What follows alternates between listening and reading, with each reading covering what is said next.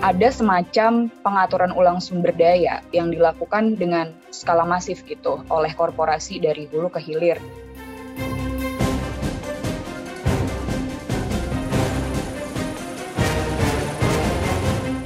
Ini masih semak belukar diolah.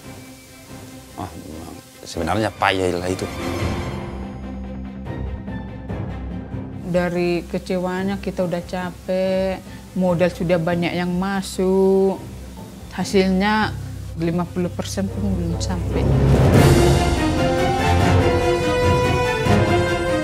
Jadi jangan memaksakan e, menasionalisasi pangan pokok. Yang nggak makan beras itu kasta dan status sosialnya lebih rendah.